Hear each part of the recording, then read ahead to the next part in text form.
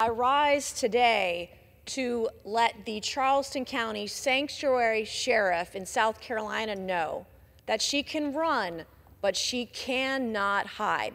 In recent weeks, I've had sources and a whistleblower come forward about the damaging policies of Charleston County's Sanctuary Sheriff, letting off illegal aliens, criminal illegal aliens, onto the streets of Charleston County, South Carolina.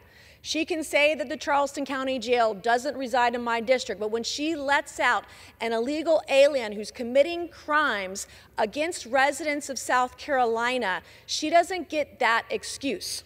She can blame the release of illegal aliens on her department policies all she wants. But what she will not tell you is that she literally drafted and signed off on her own department policies for which she's blaming the reason why she's allowed over 50 criminal illegal aliens out onto the street of South Carolina.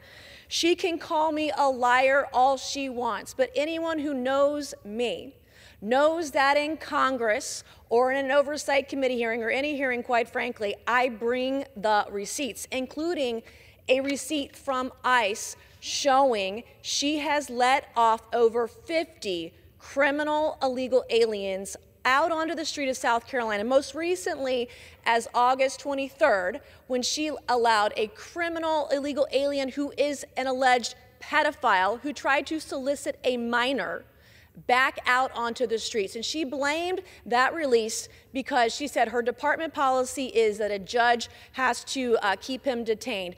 Well, by the way, Sanctuary Sheriff Kristin Graziano, it's your own policies that you wrote and you signed your name to that, that uh, you're blaming it on.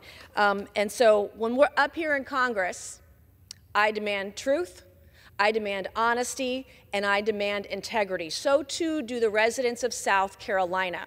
They deserve to be put first. They deserve to be safe in their homes, safe on the streets, and safe in their communities.